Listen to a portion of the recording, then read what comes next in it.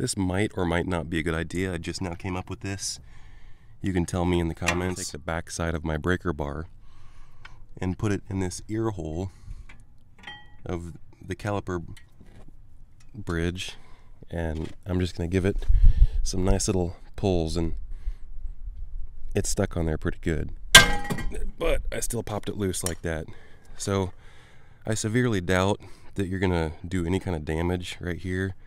And you could also make the case that even if you're prying against it, that it will do same or similar damage to hammering on the side of this. But the best way to possibly get this rotor off is some manufacturers have threaded holes in this rotor itself and maybe it's one side or maybe it's both sides and you can screw a bolt into this and it presses against this backing plate and it will slowly push the rotor off. That's the absolute best case scenario.